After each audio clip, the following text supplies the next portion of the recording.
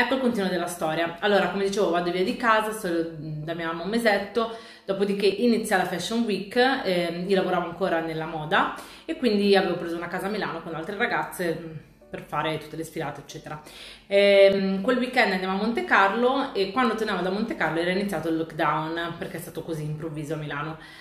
Quindi torno da mia mamma, sto lì, però non, non potevo in realtà stare lì perché la residenza ce l'avevo ancora a casa mia, quindi vado a casa mia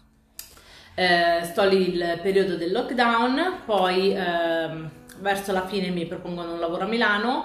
mi danno una casa su Milano perché devo fare lì un lavoro e dovevo star lì e quindi vado a Milano.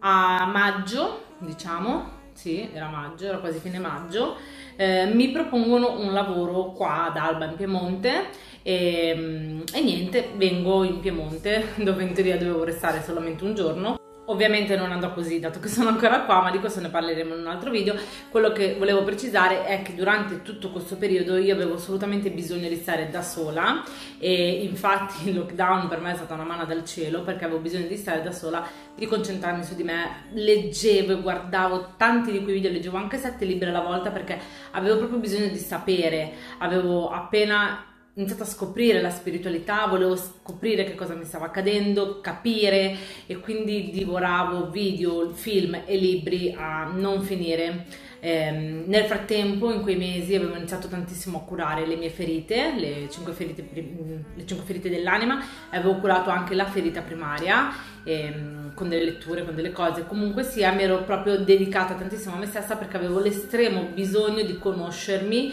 e non riuscivo in realtà a fare nient'altro. Ero totalmente concentrata solo su questo.